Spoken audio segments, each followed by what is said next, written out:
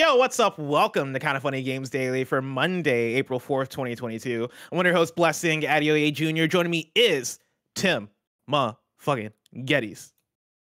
4422 bless here's the thing a couple weeks ago we had eric voss of New Rockstars on uh, Mm. to talk about predictions for mcu stuff and we're Mm. trying to figure out dates for different movies and we had a, a long discussion about when is fantastic four coming out because it'd be cool if it came out on 4 4 24 but then we looked it was like oh it's not gonna be the Oh. right day I was absolutely wrong looking at the wrong year. I was looking at 2023. So now it is back on the table. We're putting the bets down now. Fantastic Four coming out April 4th, 2024. Let's go, baby. Can I can I say that I was very excited? I know this is a few weeks ago now, but like when I saw Eric Voss on the show, because I think I was doing, I might have, I must have been doing PS Lovey or something at the same time. It was one of those ones where in our, the way we have our Discord channel set up, right? Like we have multiple live rooms that we step into, and so like in live one, it was me, Greg, and Janet and Barrett, and then I look at live two and I see Eric Voss's name, and I was like, is that the Eric Voss? And it The was Eric the Voss, Eric Voss. I was like, hell yeah, let's fucking go. I gotta go back and watch that still because like I, I'm ever since I joined Kind of Funny, my podcast listening has gone down dramatically. One because like. You know I would listen to podcasts while working. I can't listen to podcasts while I podcast. That's first and foremost. And then secondly, work from home. I don't have a commute, and so I don't really have the time to listen to a podcast. Usually, it's, it's when I'm cooking or like when I'm going out running errands. One of the very few podcasts I listen to is New Rockstars. And so I was fanboying out when I saw Eric Voss in the thing. I was like, oh shit, here we go. All right, we got some Marvel movie talk going on. hmm Tim, how are you doing? How's your weekend? Dude, it was one of the best weekends I've had in a long time. We had Achievement Hunter Live. We're going to tell the entire story of that on the Kind of Funny podcast later this week. Can't wait for that. And also, it was WrestleMania weekend. Do I have a voice anymore? No. Is that because of Achievement Hunter Live? Yeah, partly. Is that because I lose my goddamn mind having Stone Cold's glass break? Yeah, Oh my God. definitely. What a show. What a fucking What a show. weekend. Two was- nights, man. Oh my God. I'm I'm sad that I I missed out on Re- WrestleMania. Right, we had Achievement Hunter live on Saturday, and I it's funny because I feel like this week, weekend was nonstop for shit to get hyped about between Achievement Hunter Live, WrestleMania, and then the Grammys. And so like at Achievement Hunter Live, I'm hanging out, right? Like we're we're, we're doing the live show, and then backstage, um, I forget who it was. Somebody had WrestleMania on their phone because they were watching. Yeah, it was Jeremy. Jeremy had WrestleMania on his phone, and like periodically, like he'd call us out because he's like he's like, bro, Cody Rhodes just showed up. Cody Rhodes back in the WWE, and we're all like, oh shit, oh let's fucking go. And like, you know, Wres- Wres- WrestleMania. I feel like if you're wa- if you're keeping keeping up with it on Twitter, every few minutes there's something else, right? And like yesterday, I I didn't watch, but what it seemed like keeping up on Twitter is that Stone Cold was coming out on stage every five minutes to give somebody a stunner. Is that accurate? Uh no, but like That's what it seemed like. Yeah, no, it was just it was just it was poetry, man. It was poetry. They had a build up night one, and he had an amazing match with Kevin Owens, and it was or so earned and so great. And then night two, there was a, a match going on with Pat McAfee, who is now my new favorite person. Like apparently he used to be a football player. Now he's just the dopest man in the, the entire planet. Um, he was going up against some some asshole. It doesn't matter. Vince McMahon was on the asshole side. And then Mm. when they won, trouble was afoot. The glass hit and Stone Cold came out and stunned the shit out of everybody. And it was poetry. I saw I saw the clip of him Stone Cold stunning uh uh who was it? Vince McMahon. Mhm. And that shit might have been some of the funniest shit I've seen. And like it, I, I I love that like any of the any of the flubs, any of the mistakes I see happen out, out of WWE usually involve Vince McMahon somehow, right? Like Oh, the biggest one before this I remember watching was like him sliding into stage and like tearing both his quads on the way to Mhm. sliding into stage, just having to sit there like a Mhm. little baby and, and and try and yell at people. This one, watching it last night of him getting the kick, right? Like Stone Cold kicks him to get him prepared for the Stone Cold Stunner. He gets kicked, falls to his knees immediately because, like, I guess he just didn't anticipate it, right? Tries to stumble back up, and I've I've not seen Vince McMahon in years because I've not watched WWE in like over a decade. I didn't realize how old this man is. He Mhm. looks like he is like barely hanging hanging in there. And so like he gets kicked, goes on his knees, trying to stumble back up, like fucking falls back on the ropes because he's just just he's dizzy. He's not he's not balanced, right? Falls back. Stone Cold finally gets his hands on him and gives him maybe the saddest stunner I've ever seen in my life. And it was poetry. It was fantastic. It was perfect. It is probably going to be the final stunner that Stone Cold ever gives to the boss, Vince McMahon. And I loved it because it was so bad. And Stone Cold broke afterwards. And to see Stone Cold grabbing beers, cracking up to himself because he knew that, that was a disaster. Like it was just, it was such a great send off. Yeah. I, I love to see it. It was fantastic. Tim, enough mm-hmm. about WWE. Let's talk about today's stories, which include Lego Star Wars The Skywalker Saga reviews, the return of Monkey Island, and more because this is Kind of Funny Games Daily. Each and every weekday at 10 a.m. live right here on twitch.tv slash kind of funny games. We run you through the nerdy news you need to know about. If you're watching live, you can correct us when we get stuff wrong by going to kindoffunny.com slash you're wrong. If you don't want to watch live, you can watch later on youtube.com slash kind of funny games, roosterteeth.com, or you can listen later on podcast services around the globe by searching for Kind of Funny Games Daily. Remember, you can use Epic Creator Code Kind of Funny on all Epic Store and Epic in-game purchases like Rocket League and Fortnite to help support the channel. To be a part of the show, to patreon.com slash kind of funny games or bronze members or above, get to write in. And silver members or above, get the show ad-free with the exclusive daily post show. Housekeeping for you over on TikTok, uh, Roger has a review of Lego Star Wars The Skywalker Saga. We'll talk about that more on the show. Over on YouTube, there's a new episode of the Kind of Funny Xcast. Uh, that's Mike, Parris, and Gary talking all about Weird West, MLB The Show, and what's uh, and what the new PS Plus means for Xbox Game Pass. You can catch that right now on youtube.com slash kind of funny games and on podcast services around the globe. We also have Morbius in review now up on youtube.com slash kind of funny and on the in review podcast feed. Tim, is that one as, as chaotic as I imagine it is? You you need to listen to it. And also, uh, everyone, if you don't know, last night, Anthony Carboni legitimately got kicked out of a theater for laughing too hard at Morbius. That's on brand for Anthony Carboni. Continuing the Spider Boys legacy. Hell yeah! I we watched uh, No Way Home with Anthony Carboni. I was sitting next to him, and there uh, during the previews, or sorry, there, during the trailers, there was the trailer for that Moon movie. I forget what it's called, but this movie about how the moon, moon is out of orbit or something, right? Yeah, so, some bullshit like that. and when I tell you, Anthony Carboni laughed so hard at that trailer, and because of how hard he was laughing, I couldn't hold it in, and I started laughing. Anthony Carboni is a treasure, and yeah, it does not surprise me that he got kicked out during watching Morbius. That lines up. Thank you to our Patreon producers, Fargo Brady, Pranksy, and Anonymous. Today we're brought to you by Chime, DoorDash, and Babbel, but we'll tell you about that later. For now, let's begin with what is, and forever will be, the Roper Report.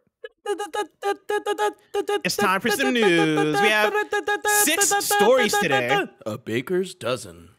Starting with our number one Lego Star Wars has a review roundup. The embargo is up. Of course, like I said earlier, uh, we have a TikTok of Roger's review up right now. We'll pull that up in a second. Kevin, you can gear that up. Uh, our review for Lego Star Wars Skywalker Saga, our full mm. review is coming out uh, this week on Gamescast. But for now, let's talk about IGN and Game Informer and what they gave it. Let's start off with Metacritic, right? Right now, Metacritic is starting is sitting at an 85. On OpenCritic, it is sitting at an 84. Tristan Ogilvie over at IGN gave it an 8 out of 10 and says Lego Star Wars: The Skywalker Saga provides some rollicking reimaginings of Star Wars' most iconic moments and sees them inside a series of interplanetary playgrounds that are dense with discovery and entertaining diversions. Certain elements, like its upgrade and cover systems, feel somewhat superfluous, and co-op has some notable drawbacks, but there are otherwise enough laugh out loud gags, and surprising shifts in gameplay to keep me thoroughly engaged from the opening crawl of episode 1 all the way through to the end of episode 9, which is more than I can say for the actual movies. And then Andrew Reiner over at Game Informer gave it an 8 out of 10 and said, Despite being periodically uneventful, the Skywalker saga is a thorough and fun examination of all three Star Wars movie trilogies. It delivers the same sensation of being overwhelmed as opening a Blu ray collection of films and not knowing which one you should start with. The player can bounce between trilogies and veer off a story path at any time to explore the galaxy far, far away. Some discoveries may be as dull as sand, but others may deliver something great, like Babu Frik as a playable character, or seeing what Kylo Ren's bedroom looks like. And then Roger, I Kind of Funny, called it great. Uh, Kevin, you can go ahead and play the TikTok.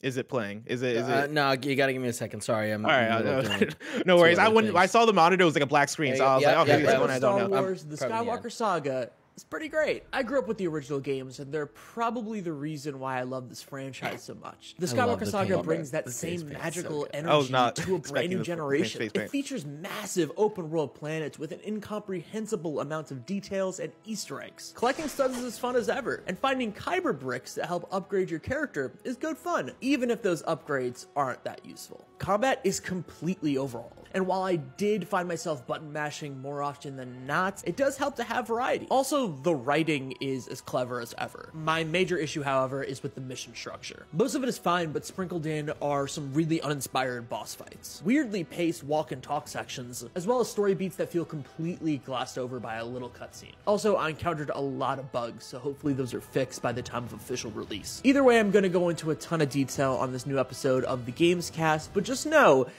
Lego Star Wars: The Skywalker Saga and there is pretty is. great. I grew up the patented, the patented loop. You've got to love it, Tim. Yeah.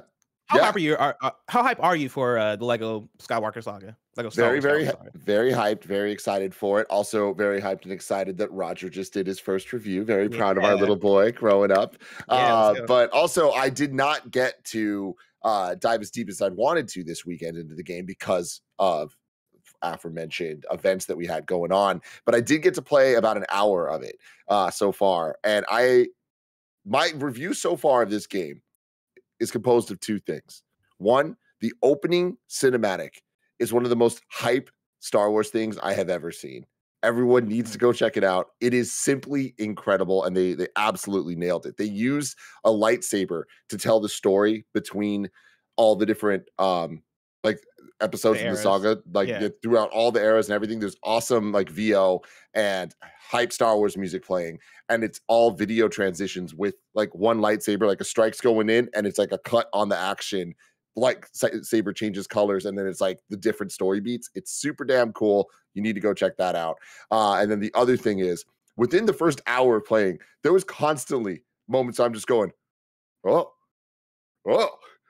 Oh and it's good O's, everybody. Like I was Oh. surprised by so many things about this game. Like we've known that it's like different than the the previous Lego games that we've had, and it's them kind of like trying out like a new style of gameplay with a little bit more like the third person, um, you know, over the shoulder type um, camera angles and stuff. And it is working really, really well. It's still a Lego game at its at its core, at its heart. Like Roger was saying, like the writing's there, the the comedy, all of it, but there were moments where I'm like, this game's really pretty, and I just didn't expect Really? that. So yeah, I'm, I've been very impressed. Can't wait to get back into it. And the the level select screen when you're going through any of the episodes, there's these like little dioramas uh, that represent each movie, and they're so great. There's just a lot of love and care put in this game, and I'm excited to get back to it. Hell yeah! Do you think you're gonna play through all nine episodes? Yes, I do. Really? Yeah, How how does it seem scope wise? Like to do that, do you think it's gonna take you 20 to 30 hours? I I don't know. It's hard to tell because I am extremely early. Like I'm still at the points that are very linear. I chose episode one to start. Um, so just going through um in that hour, I, I think I'm like maybe halfway through the level. I don't I don't know. It's hard Okay. to tell actually. Gotcha. Yeah, I don't. I I still I don't know if I'm gonna jump in or not yet. Right. This is one that when it was first announced, I was like, oh, so this seems really cool. I really like Star Wars games. I'm kind of like give or take on the movies. Right. I'm like a very very casual Star Wars fan. Right. And like.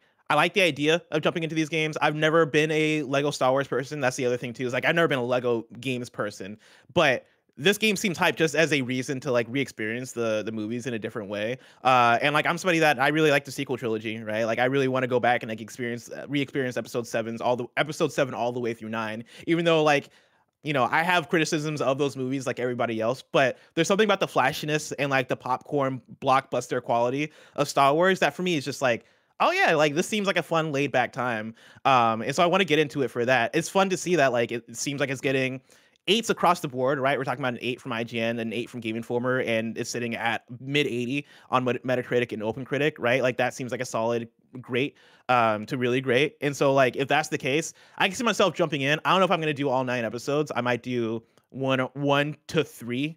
And see like how I feel after that, and then if I feel uh, like jumping back in, I'll do it. I think the other thing for me right now is that when I look at April through May of video game releases, it's kind of chill, right? Like we're getting Nintendo Switch Sports toward the end of the month, and that's probably the, one of the only things. Uh, Stanley Parable also toward the end of the month, and those are the two new games that I'm excited to get my hands on. Aside from that, I think these next couple of months for me is going to be a, a a period of me jumping back and trying to catch up on all the stuff I missed during review season, right? I do want to catch up more. I want to finish Kirby first and foremost. I'm on the last world, and I'm sure I'm going to do a lot of post game stuff Hell there. yeah. Yeah, I'm, and I'm having a blast with that game.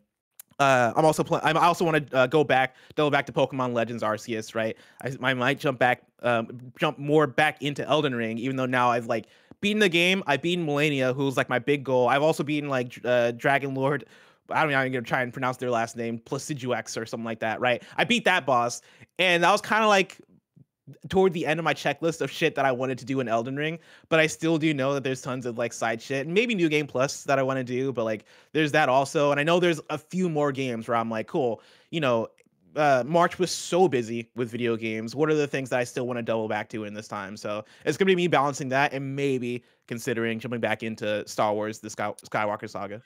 Yeah, the thing I'm interested in is I want to see reviews of the Switch version in particular. Um, and I think Roger has been playing a little on PS and Switch, so I'm excited to talk to him on Gamescast and see because I was on PlayStation, um, and as amazing as it looks in the HDR and all that stuff, like this is the type of game I'm like, you know what, this could be this could be great handheld and be like my bed game mm. that I mm. just kind of play throughout the year, you know, like making yeah. little progress every night. So, so we'll see.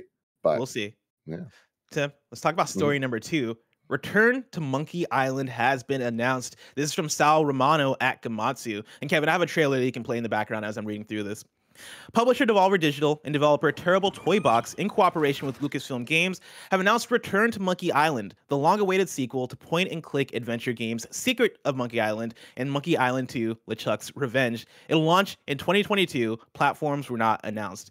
Now, Tim, I was surprised yes. by two things right when this went up this morning. One i was surprised by the announcement because it's been mm-hmm. a minute since monkey island games have been active right? And like this feels like it's coming out of nowhere. Of course you had the re- you had the return of uh, lucasfilm games right a couple years ago and so it makes sense that now they have they they can ideally do something with it. Um but even with that right i feel like this is still unexpected. So that was the thing that surprised me first and foremost. The other thing that surprised me was how hyped people were on the timeline about this.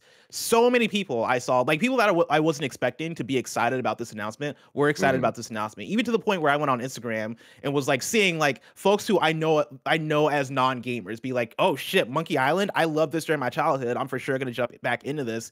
Tim, where are you at with Monkey Island? Is that your jam?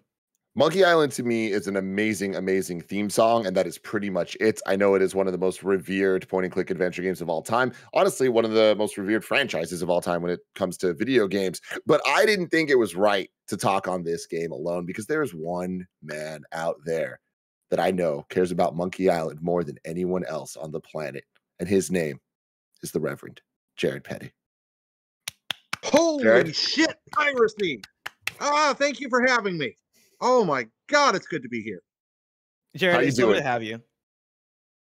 How you doing, uh, y'all? This is an exciting day to be alive. Okay, first off, wonderful episode so far. So much fun listening. Watch and listen practically every day. Love kind of funny games daily. It is a pollen fueled wasteland here in eastern North Carolina right now. I'm sitting on my porch. I'm covered in yellow pine pollen, but I don't care. I'm excited because one of the greatest video games of all time is finally, finally, finally getting a proper, proper modern sequel. Gentlemen, why do people care about this? It's really very simple. Very, very, very few video games are truly funny. Monkey Island, from start to finish, Monkey Island 1 and 2 are hilarious. They are mind bendingly funny. You know all those best funny parts in Psychonauts 2? Monkey Island is like that times 10 all the time. It is purely built on jokes. It is a game so devoted to jokes that even the combat system is entirely about telling jokes. That's how you fight people in Monkey Island. You insult them, and then they insult you back. And then you come up with a better, funny insult. It's like this duel of dad jokes that goes on while you're fencing. It is brilliant. You can't die unless you try really hard to, and then it's a joke. That too, the only way you, can. So there's there's no way to there's no way to fail. It's graphically gorgeous. It has this wonderful dynamic soundtrack technology, and the first two games are classically brilliantly hilarious. They are still eminently playable today. But this one, friends, this is a big deal because we didn't really ever get that. This is kind of like that beautiful, like Superman Returns retcon, where we're like, we're going to take Monkey Island 2, the peak of the series, and then we're going to build a new third episode straight from that one that kind of ignores the rest of the continuity after that. Now, I love the Monkey Island games, but the two first ones are the best ones. What what and what so was after? Kind of like, what's the the lineage of that, Jared? After the first? Oh two? God, there's there's secret, there's return, there's oh I, now I can't remember. My brain is dead right now. Uh, Secret and Return are, are the two like like cornerstone ones. I mean, you find good jokes in all of them. One of my favorite jokes is from one of the later games, which is just That's the second biggest giant monkey head I've ever seen. Uh, you know, there's these beautiful, beautiful moments. But okay, I'm talking too much. I did not.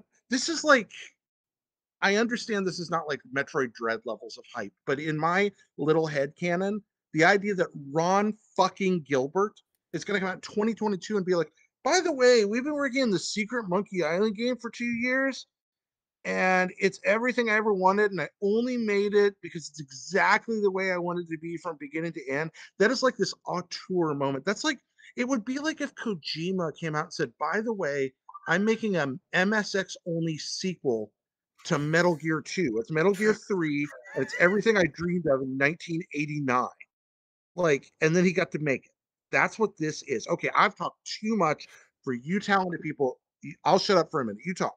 I, I have a question for you, Barrett. Or sorry, Jared. Looking at the uh, um, the trailer here, what's the trailer itself make you feel?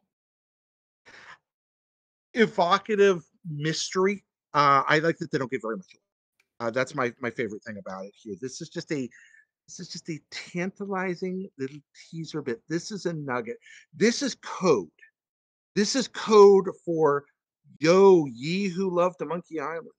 Behold, that which you dreamed could never happen is about to take place.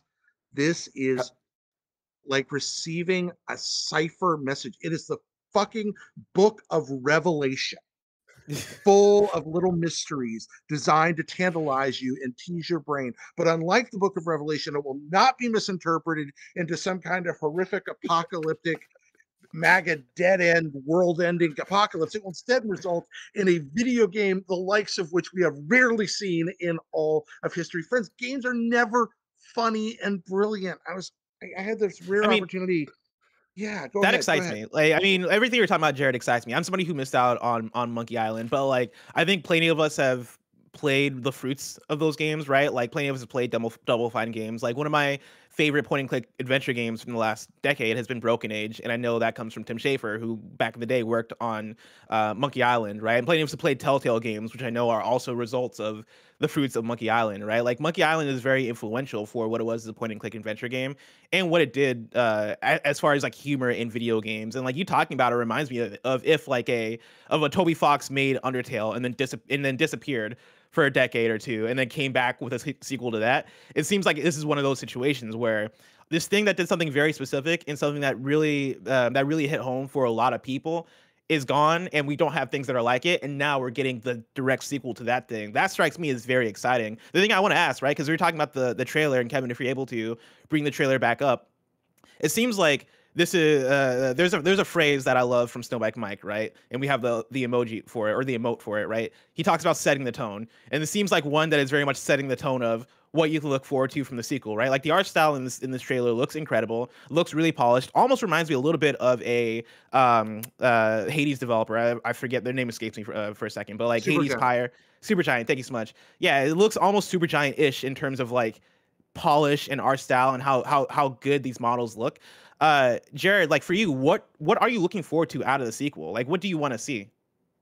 Okay, so I you were talking about Tim Schafer a second ago. Blessing. Uh, I, I got an mm. opportunity to talk to Tim recently for for limited run, and I'm going to paraphrase him here, but he worked on Monkey Island as well, um, uh, and then went on to make Broken Age and things like that. But Tim, I asked him why it's hard to make funny video games, and Tim laughed and said, "I don't think it's hard to make funny video games at all." He said, I don't understand why more video games aren't funny. He said, the, in paraphrasing here, he's like, video games are, are about you putting like this little avatar in a weird space and like throwing pies in people's faces, but also you're supposed to have a serious story.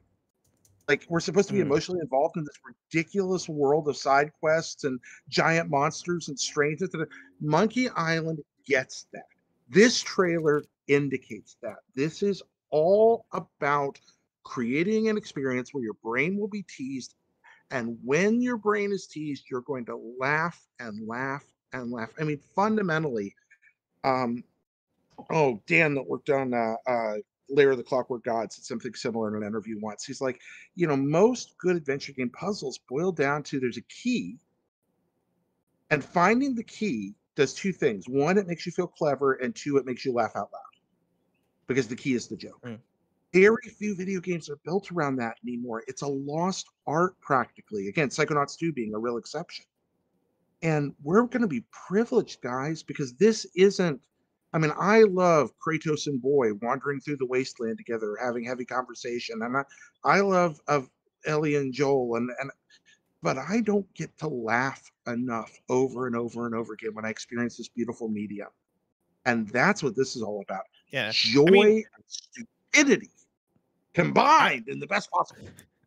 I would I would oh, one thousand percent feel that right. Like for me, when I think of the funny games of again like the last decade that I think of that really struck a that really struck a chord with me. Right, I think of Portal. I think of Borderlands. I, again, I think of Undertale. Right, but like all these games I name are games that I think do strike a chord with people and do really become memorable because like you're saying many games don't really double down on hey let's just be funny like let's make that the, the drive of this right i th- also think of games like jazzpunk which have like cult followings that might not break through uh, to everybody because not not necessarily everybody is looking for the specific type of humor. But when you have that kind of humor, those games become very special to you.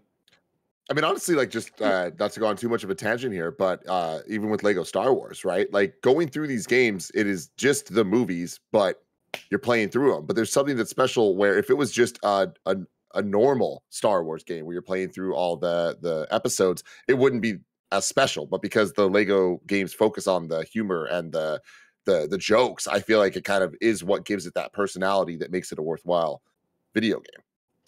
That's Jared. not a tangent at all. That's brilliant, Tim. I am so on board with that. Like I love the Lego games for the same reason. They take this familiar thing and then they they just slightly absurdify it and embrace the gaminess of it all. And and that's what these Monkey Island games do. I know I'm evangelizing. I hope I'm not repeating myself too much in summation, to, to keep it succinct, friends, you play these games to feel clever and laugh, to beat your head against the wall a little bit of a puzzle. Then you go talk to a friend or look up the solution and go, oh, of course. And the solution's so funny that even if you have to look it up, you laugh when you do it. But also the act of failing is hilarious the way they write them. It rewards failure with humor, it rewards success with humor. I have mm. a thousand percent confidence in this. I very rarely want to hype up a game too much before it comes out. But it's not like this track record hasn't been proven. Monkey Island 1 and 2 are probably the best classic adventure games of them all, along with Grim Fandango. They are just about perfect.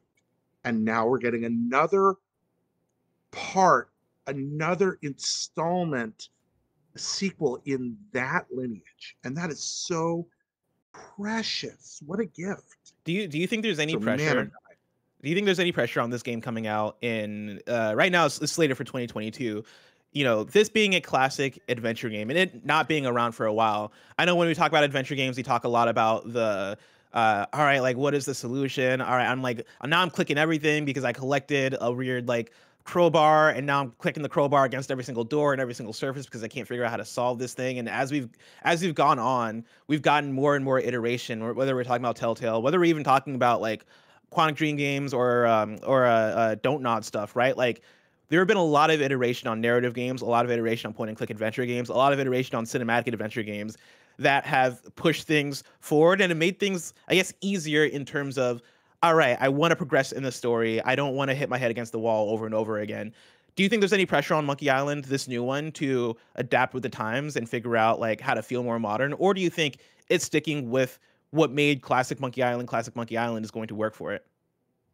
I think that I think they're going to be deliberately anachronistic based on what I'm seeing here. Um, and when I say, but understand that Monkey Island while being an anachronistic adventure game, is easily the most accessible of the anachronistic adventure games. It was a revolution when it came out. It really did change the way that we interacted with these games. It was the beginning of the movement toward modern conveniences in adventure games.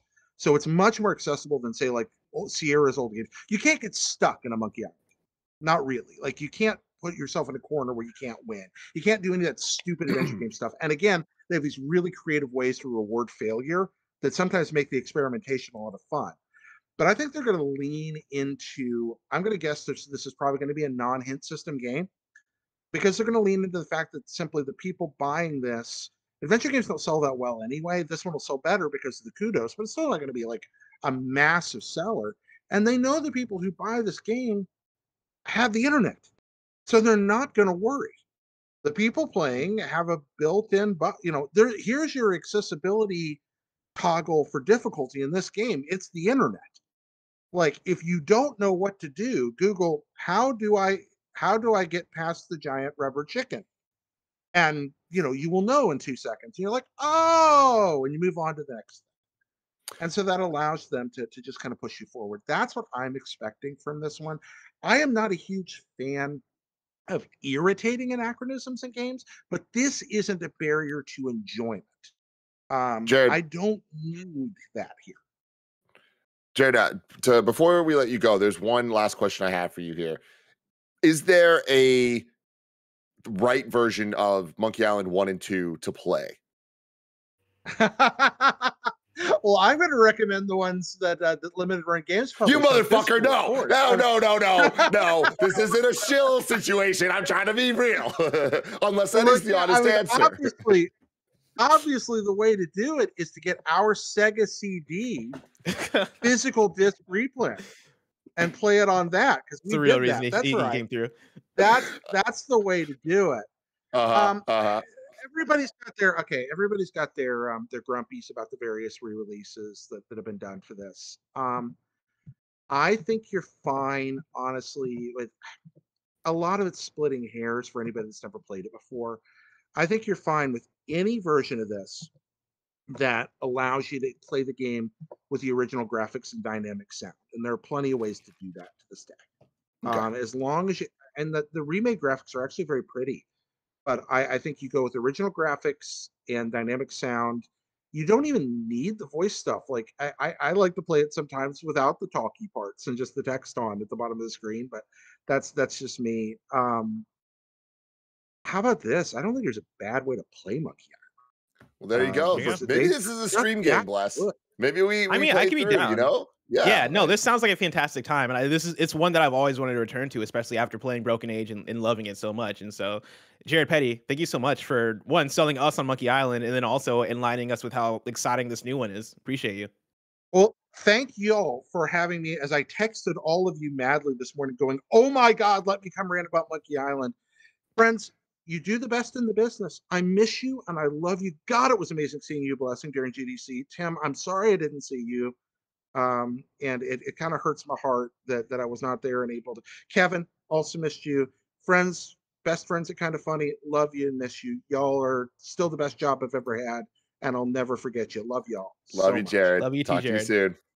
Tim, we're gonna hop into our mm-hmm. next news story. But before we do, I want to let people know out there know about patreon.com slash kind of funny games so they can go to get the show ad free. And speaking of ads, let us tell you about our sponsors. No one likes waiting on a paycheck, especially when you've got bills due. Good thing there's Chime. Now you can get your paycheck up to two days early with direct deposit. That's up to two more days to save, pay bills, and generally just feel good about your money situation. But Chime is more than just getting paid early. It's also an award winning mobile app, checking account, debit card, and optional savings account.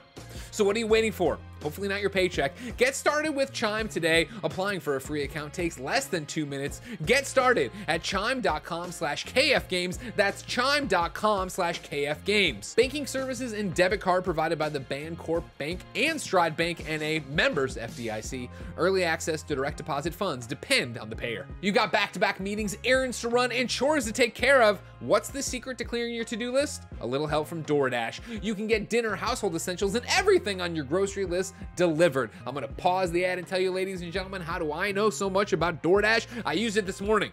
I, I woke up, I had to get the house ready. I, I had this guy coming to work on the garage. I had the nanny coming over. We had no clean bottles. I cleaned the bottles and everything. And I was like, I'm hungry and I need coffee and I don't have time to make either. I DoorDashed uh, Jen and I some breakfast today and it was great. When I was sick last week, I DoorDashed Gatorade because I wasn't about to go out. DoorDash is great. Back to what they wrote. Ordering is easy and your items will be left safely outside your door when you choose contactless delivery drop off. For a limited time, our listeners can get 25% off and zero delivery fees on their first order of $15 or more when you download the DoorDash app and enter the code Kinda Funny. That's 25% off up to a $10 value and zero delivery fees on your first order when you download the DoorDash app in the App Store and enter the code Kinda Funny. Don't forget, that's code Kinda Funny for 25% off your first order with DoorDash, subject to change, terms apply. For most of us, learning a second language in high school or college wasn't exactly a high point in our academic careers. I took three years of French, and guess what? It didn't stick. Now, thanks to Babbel, the language learning app that sold more than 10 million subscriptions, there's an addictively easy and fun way to learn a new language.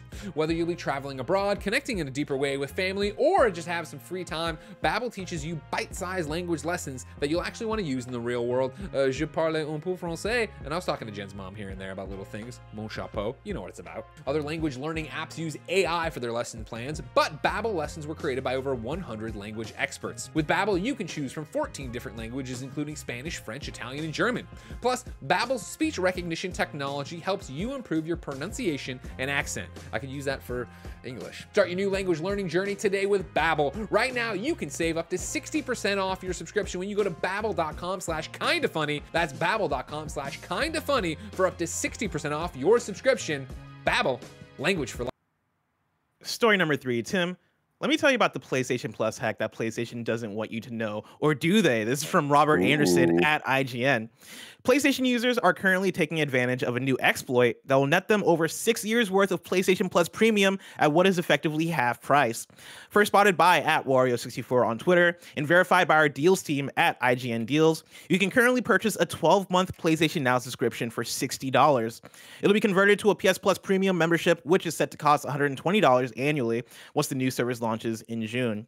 Sony had previously blocked the option to buy more than one month of PS Now, but this workaround link is still live for now. And place it's still live for now, and PlayStation users have been quick to stack up as many years of PlayStation Now as they can, ready for the one-to-one conversion in June. As far as we know, you won't be punished for using this exploit, but it's clear Sony probably doesn't want you doing it either. It's likely going to get shut down soon, so if you're going to take advantage, you better do it soon. That's one heads up for hey, if you're trying to get a deal on PlayStation Plus Premium by the time it comes through in June, boom, buy a bunch of PlayStation now. But also, I don't think this is one that PlayStation is worried about because this means that you're buying a bunch of PlayStation now, which I'm sure they're very happy with.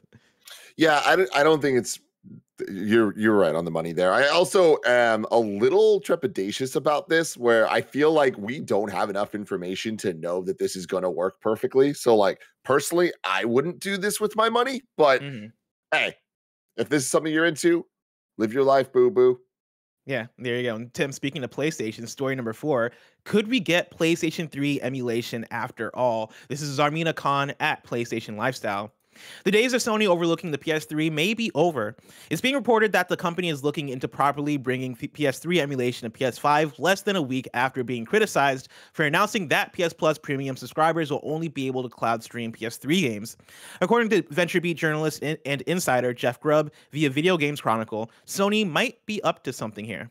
While it, while it, while it has long been argued that PS3's architecture is to blame for complicating things, fans and some game developers remain unconvinced that this is the case. Quote, emulation of PS3 is absolutely possible on the PS5 hardware, wrote Nightdive Studios Dimitri Giannakis, aka Modern Vintage Gamer. Uh, they continue, quote, Sony has never been interested in investing the millions of the millions to make it happen, however. Known modder Lance McDonald added that he, quote, can't get over Sony announcing that they have a PS1 and PS2 emulator up and running on PS4 and PS5 hardware, but they're locking both behind a subscription fee and won't let you play discs you already own. Also, they still can't get PS3 emulation on the PS5, end quote. Grubb claims he asked around the company's plans, uh, and from what he's heard, Sony might be working on bringing PS3 emulation to PS5, but it'll take some time. There you heard it from Grubb's mouth himself. Tim, do you have faith that we're going to get there with PS3 emulation? I do at some point. I don't think that it's uh, going to be in June. You know, I, I feel like mm-hmm. with the the way that Spartacus has kind of actually played out, and uh, with with the way that Sony's been handling it right now, I I think that uh, expectations should be kind of set a little more correctly now, uh, where we know that it's coming in June. We know exactly what it is, and we know that it's not something really worth being that excited for.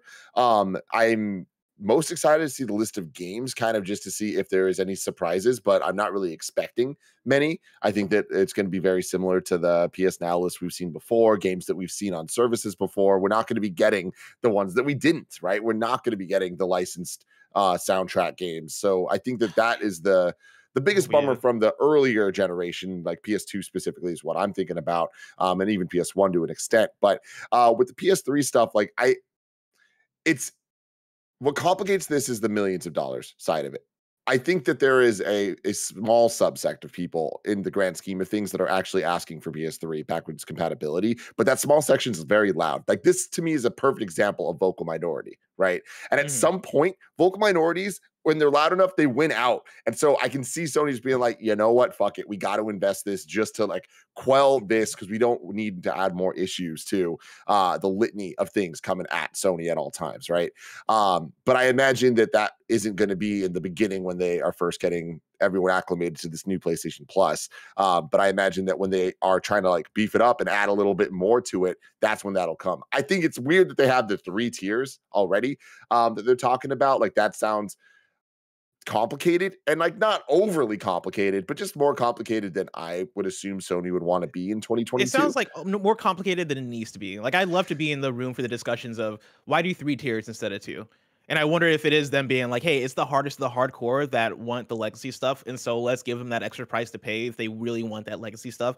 Whereas like PS Plus Extra, which is the the second tier that gets you all the PS4 and PS5 games library, I think that's the one that they're probably really gonna try and hit home for people that are the general PlayStation audience that want access to a bunch of games and want that buy-in to go, oh man, all right, without PlayStation Plus Extra, I have my 30 games that I own, but with PS Plus Extra, I'm gonna get hundreds that I might have missed out on, and now I just have this this library, right, similar to Xbox Game Pass. I think that's probably the, the, the thought process behind it, but. I don't know, man. If I I I feel like it it would almost be easier just to lump in the legacy stuff with the PlayStation Plus extra, but maybe they just want that extra cash. Well, yeah. So so here's the thing um, with that. It's like I I feel like they the, the problem with it is that from our side of things, bless, like me and you mm-hmm. having talked about this for so long, it was always like, oh, it's complicated because they're pushing too many brands and they're not able to push them equally because there's PlayStation Plus and PlayStation Now. And when you have different services, especially when your competitors have more so than anything kind of like consolidated them like it, there still is xbox gold and xbox game pass but like there is ultimate that allows you to just kind of get everything and like that's the thing that they push the most like that is the get game pass ultimate right like that's their their marketing now PlayStation at least has, oh, we have PlayStation Plus, and then you have to kind of get in and figure out the tiers. It's unfortunate that there's still levels, that it's still convoluted to that extent. But uh, there's a marketing theory that I'm blanking on the name right now. I was watching a video with uh, MKBHD recently uh, where he was talking about this, where the theory is um, if you there's a strategy to the amount of products that you're you're putting out there, and this is something that Apple has applied a lot over time. And uh, studies found that if you add three things, more people are likely to get the two, even if the prices of, if, of the two things were less than what the full thing would have been when there's 3 mm-hmm. That doesn't really make sense when I said it, but I I think you guys understand what I'm trying to say here. Um, that the strategy is they're adding the three because they want most people to do the second one, and they'll look at the highest one and be like, "Oh, that's too expensive. I don't need that. I'll get the second one," even ah, though really they might have just got the first one to begin with. Add on top of that, the fact that you look at this, Sony's entirely doing it because putting the PS1 and PS2 classics on the highest level, they know that they're speaking to the niche audience that's like, we're gonna, we'll pay more for that premium shit because that's the the stuff we want. But they know that that's not the most enticing thing to the majority of people, yeah. which is the PlayStation 5 games, which is why the second tier is at the end of the day gonna be the one that Sony pushes the most and the most popular um, option. For sure. And it's I mean it's the same way that with with Nintendo Switch Online, they did the expansion pack that was here's N64 games, here's uh Sega games, and then also here's Animal Crossing DLC. And I think most of us went, oh, this seems like a weird deal. I'm not gonna buy into that. And me, I'm like, ah, but I, I love those N64 games. I guess I'm gonna buy into it. And I, I, I, I think you're exactly on the money that the second tier is probably the one that they're uh, uh, viewing as the most, even though it's, even though it's not PS Plus essential, they're viewing it as the essential tier, and they're going to push it that way. And I think most people are going to buy into that. I do I do still want to see like what that library looks like because if it is like a Nintendo Switch Online, right? Like that expansion pack, I think even over the last six months has gotten way more enticing as they've added in. Here's Mario Kart 8 uh, uh, uh, Deluxe DLC, right? Here's even more N64 games. Here's more other games, right? Like the more you build that library, the more enticing it gets. And I imagine that that might be a similar strategy they use for this, where PS Plus Extra, which is the second tier that you get PS4 and PS5 games with, that is going to be what PlayStation Now is, where they are cycling in games and then cycling out games. And if you have games that are coming out out there day and date, and you have games that like are exciting, right? Like you, uh, let's say by fall if they have or let's say like by 2023 if they add in the horizon forbidden west in in there right? And the, the new exciting games the new ish exciting games in there i think that'll be enough to get make people go oh shit all right yeah i'm very happy with my ps plus extra purchase. Whereas for essential if it is this hey we're starting off with I'm, sure I think they've already given a number, but I'm just gonna say if we let's, let's start off with 30 PS1 games, 30 PS2 games, and by the end of 2023, it is now 60 PS1 games, 60 PS2 games. I think over time, you just have more people transition over and go, oh shit, they have Burnout 3. I fucking love Burnout 3 when I played it as a kid. I'm definitely gonna up my tier for this month so I can play more of this. And then they forget that they update and now they're they're still paying for it. I think they're I I think even though it's complicated, I can see the vision and I I'm just curious on how it plays out because I think there's I think uh, from an audience pers- perspective, right, and from a podcast perspective, there's beauty in, in, simplicity. And I like deep down, I go, oh man, it'd be nice if it was just two tiers. I get what they're doing business wise. Like I, I, I think there's something there, but it's all gonna speak when the games are actually announced and we know what it is um, by the time June comes around. So keeping an eye on it. I'm kind of excited for it. Like even though even though the the actual details for me was a bit of a bummer when it was announced, I'm still excited for this thing. Like I want to know what that library looks like, and I'm glad that they're giving people like Returnal on there and Miles Morales on there and other games. And so we'll wait and see. Story number five, Tim. There's a new Elden Ring patch. This is from Joe Skrebels, a made up name over there at IGN. Bandai Namco has announced a small Elden Ring patch, which will be released today, April 4th, across all platforms. The patch buffs some attacks for boss uh, Star Scourge Radahn, who was unintentionally made weaker in the latest version of the game. Elden Ring's 1.03 patch arrived last month and made a lot of adjustments to the game. However, one was unintentional, making the famously tricky Radahn far weaker than he was meant to be when using some attacks. A new version of 1.03 arrives today as a result. The only bo- the only patch note reads, quote, fixed a bug in the balance adjustment of the boss Star Scourge Radahn in update 1.03, in which the power of some attacks was unintentionally reduced, end quote. The patch comes to PS4, PS5, Xbox One, Xbox Series X, and Steam today.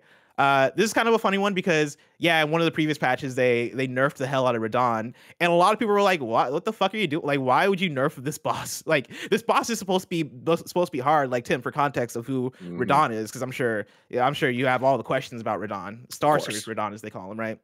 Radahn is like this badass like military leader, right? Like, and at his boss, this slight spoilers for Elden Ring. Cover your ears if you want to know nothing about Radahn. If you somehow missed who Radahn is, right? Uh, basically you get to his boss fight. You get to like his his uh, not his boss fight, his boss area, right? Like his dungeon, let's call it. You get there, and it's basically like this festival that's being thrown. And you talk to the NPCs, and they're all like, "Oh yeah, we're here for the Radahn festival." Basically, what it is is yeah, this boss that is like one of the the shard bearers, who are like the big bosses in the game game. Tim. He's like, yeah, he throws on this festival, let's say every year, uh, where he like beats everybody at everybody's asses.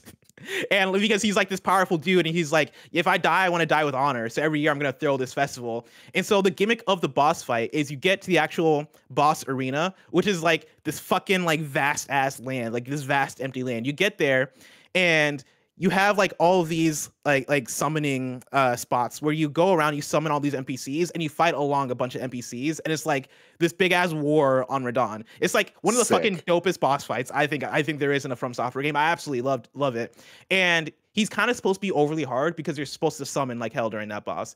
Uh and like when i played it i played it before they nerfed him and i thought it was like a fine difficulty. I didn't think it was like super hard especially after summoning all those all those NPCs. Um, but yeah, that that led to a lot of people going, all right, well, why are you nerfing him? It seems like the balancing was fine. It didn't seem like he was that hard that you needed to to, to nerf him, and it seems like that was a mistake. So that makes sense. That lines up. Um, Tim, mm-hmm. play some Elden Ring. It'll change your life. Yeah, yeah. What what will it take for you to get into Elden Ring? I I just don't know that it. I did. I don't know that I can it's just not for me. So much of it mm. sounds great, so much of it is epic and cool. But I mean, I think at the end of the day, it's like Lord of the Rings. I have now seen the Lord of the Rings movies at least five times each, and I get it and I appreciate it. I don't like it. I just don't. And that's okay. I understand it. I respect it. I understand its quality. Same thing with Elden Ring. Didn't yeah. beat it, but it's a Lord of the Rings situation. I can tell. Yeah, I feel that. Let's round out with story number six. A 2001 demo for Gex Jr. has leaked online. This is Zack Zweizen at Kotaku. And Kevin, I have a video if you can pull it up as I read through. Gex is back, but not how not how his fans probably in were junior for. form. In junior form. Uh, very relatable, actually. Uh, instead of a new game or remake, fans can check out a demo for Gex Jr., a never before seen PS1 spin off of the original Gex franchise. This new demo has surfaced online over 20 years after it was seemingly abandoned. The new unfinished demo for Gex Jr. comes courtesy of Just Zoot uh, and has been uploaded to the fantastic Hidden Palace website.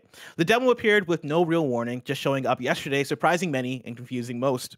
The demo seems to be set in a movie theater like level and, and has Gex Jr. collecting cans of soda. The simple level design and objectives, coupled with the game's name and overall look, seem to imply this game was going to be aimed at kids or younger players. Uh, that's the end of the article. And the thing that I want to point out is that this is definitive proof that Gex fucks Tim. All right. I said it last time when we were talking about Gex, and I'll say it again. We have the proof here. Gex Jr., he lives and breathes. That is a very interesting point, bless, that I, I had not considered. God, God. Um, and that I, for some statement. Yeah, you know, I I thought it was just this was Gex when he was little, but you're right, that wouldn't make sense. Uh, and we do see we do well, see the, he, the, he the could be he could have always been Gex Jr. Oh yeah, there you go. But that that could be the father of Gex, mm-hmm. the the you know the grand.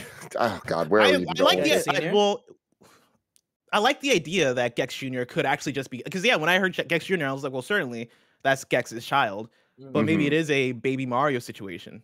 Exactly. But does that Which, make sense? Calling him Gex, Gex Jr. Wait, wait, wait. None of it makes sense. Nothing about this makes Mario, sense. Mario just Mario as a baby. Yeah. That's what I assumed. Yeah. Huh. Mm-hmm. You think? Wait, case. you think Mario had a baby and called him Mario? I mean, he, if if Mario were to have a baby, just so that we're clear, if he were to have twins, he would absolutely call name him Mario and Luigi, hundred percent. I don't know. Oh my god. I can't believe we're about to do this. Get into the fucking deep lore of Super Mario. In Yoshi's Island, which mm. is the the origin of Baby Mario, there's no princess in it. It's Luigi that gets captured, and you're trying to save Luigi. So Yoshi takes baby Mario to go save Luigi. You eventually do that. And then in the final cutscene, you see legs of Mario and Luigi, baby Mario and baby Luigi's parents. They do not look like the legs of the Mario that we know and love. How do they, and they don't What's that? What what is the difference between their legs and Mario's legs? Why are you doing this to me, Wes? You could have just let it go. I didn't know you. I didn't know you had As like the details on this. As I was saying, I was like, I don't fucking know. Their legs. You know what I mean? Are they like skinnier? Because I know Mario has like them short, stubby legs, but like you know, you know describe the legs and. I'm gonna. Uh, they're, never they're got. Never got to the end of uh, really? Mario World 2. No. Oh, you messed up. I never man. got you to see those up. legs. Uh, I'm gonna. I'm gonna have bring up the video so that that Kev can bring this up because this is the most important mm, thing right now. Mm, I will also mm. say that the Mario franchise, I think, does follow some kind of like rule set when it comes to naming, where there is Bowser Jr. and Bowser Jr. is Bowser's child. That's not baby Bowser. I but then there's also Bowser the Koopa kids, though, which is the problem. But the Koopa, that, aren't the, aren't the Koopa, Koopa kids like siblings with Bowser Jr.? But that, I mean, that's weird, right? I think it? that's like an ultimate. Well, I mean, uh, here's the thing: are they wait, all wait, twins? What? Why? Yeah, why is that weird? Because maybe well, Bowser Jr. is the older one. Yeah. Like, was the first pop like, out, and then they had eightlets. I'm sure that's not the name of it. Like this isn't a George Foreman situation. You know what I mean? What's the chat saying the Koopa kids have been retconned to not be Bowser's kids. That's the problem. There's retconning going on here because Bowser Jr. was convinced that Peach was his mom, and that gets really dark when you think about it. So, Kev, can you bring up what I what I just God. said? Octuplets, yeah, yeah. thank you. And uh, Plus, you yeah, know the thing about uh, George's kids, Foreman. Just go to he's 308, got, please. He's got five sons, all named George Foreman. Oh, I didn't know they were all. I know. I knew like at least a couple of them were named George Foreman. No, all five. Foreman. I didn't know all of them were. Yeah, right. He was great. So this is the end. Spoilers of uh, Yoshi's Island, um, and the the stork homie brings you, little baby Mario, back to your home. You oh, he's not from New York. I don't think he's ever. He's from the Mushroom Kingdom, isn't he? I mean, you know, he's supposed like he's Brooklyn. Like, there's a lot of retconning going on, man. Like people over there not getting their shit straight. But look, we're about to see this door open, and then who's there? Let me see them legs. Who's there? Let me see them legs. Let me see them legs. Oh, oh interesting. Oh, you're right. Yeah, no, that well, I don't know. I just don't get Mario vibes, man. That might be the art style, though. I don't know. Here's the thing: I'm with you. Baby Mario and Baby Luigi are definitely just Mario and Luigi yeah, as babies. Yeah. But it doesn't make. I don't like sense. these hands. It doesn't make any sense. Because like, if Miyamoto point... came out though and like said, "Hey, no, these are their children," I wouldn't. I don't think I could doubt it. Like, I don't think there's enough there there to it. I could see all, those being Mario's legs.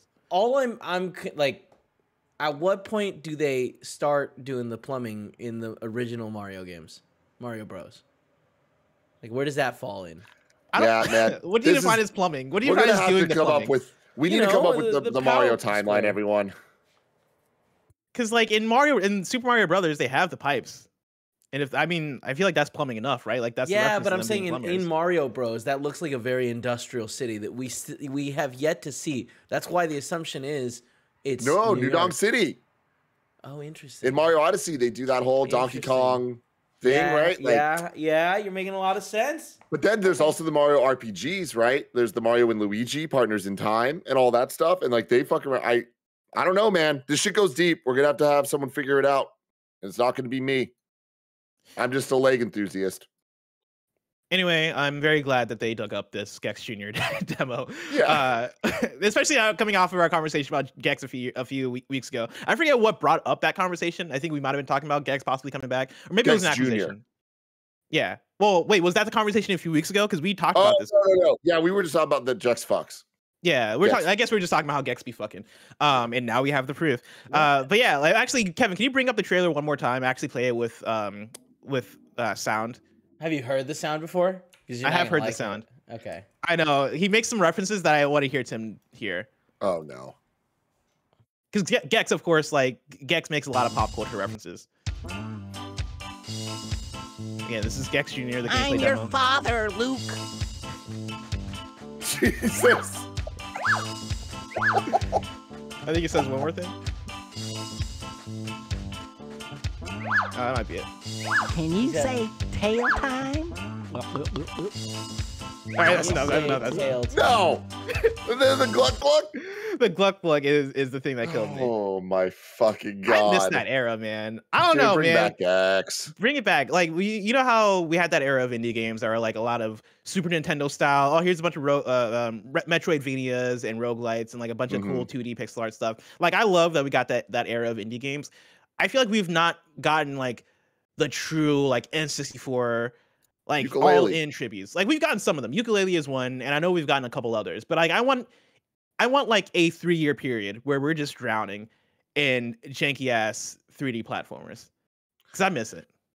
Yeah, I want to cosplay as Gex. I'm saying it right now on the show. Oh, Tim, I can't wait for you to cosplay as Gex. But that day is probably just so far away. If I want to know what's coming out to mom and grab shops today, where would I look? The official list of upcoming software across each and every platform is listed by the Kind of Funny Games Daily Show host each and every weekday.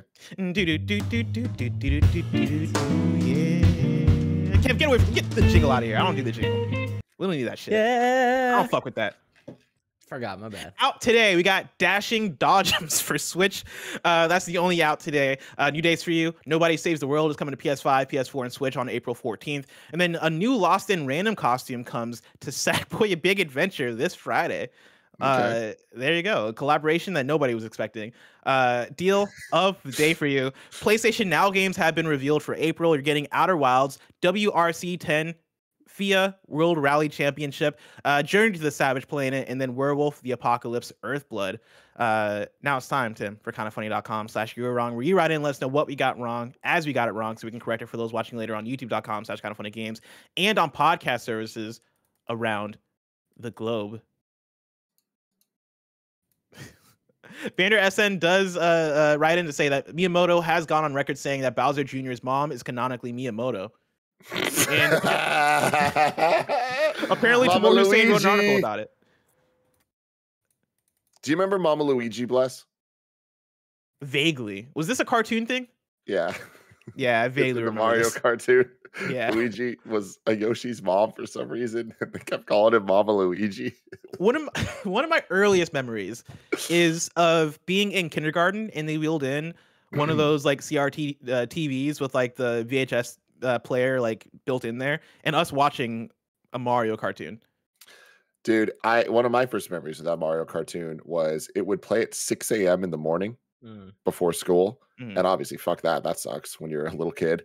Um, but randomly one day I was awake that early and I saw it and I was like, I'm gonna wake up every day of my life at 6 a.m. because I need to see this cartoon. And there was a stretch where I did just to Hell watch yeah. it.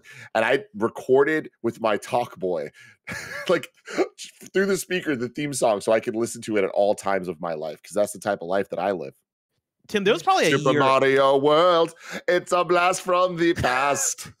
there was probably a year, banger, dude. Banger. I, I think this speaks to who we were as children, right? There was a, there was like a year long period where every Saturday morning I would wake up fresh at 7 a.m to catch WB Kids and their oh, block yeah. of kids shows because there's always the new episodes of like Jackie Chan Adventures and Yu-Gi-Oh and shit that like I needed to know. And I was awake before my sisters, before my parents. I was the only person awake in my household at 7 a.m. on a on a fucking Saturday, like every fucking Saturday, making it happen.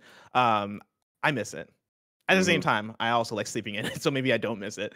This week's hosts for Kinda Funny Games Daily go like this. On Tuesday, you're getting Greg and Gary. Wednesday, you're getting me and Janet. Thursday, you're getting Tim and Tim. Then on Friday, you're getting me and Andy. If you're watching this live on Twitch right now, after this, is Greg and Mike playing some of that WWE 2K22. If you want to catch that stream later, you can of course subscribe to youtube.com slash kindafunnyplays. Remember this has been Kinda Funny Games Daily. Each and every weekday live right here on twitch.tv slash kindafunnygames. We run you through the nerdy news you need to know about. We have a Patreon post show for those that are subbed at the silver level of patreon.com slash kindafunnygames. So stick around for that. Otherwise, until next time, Game Daily.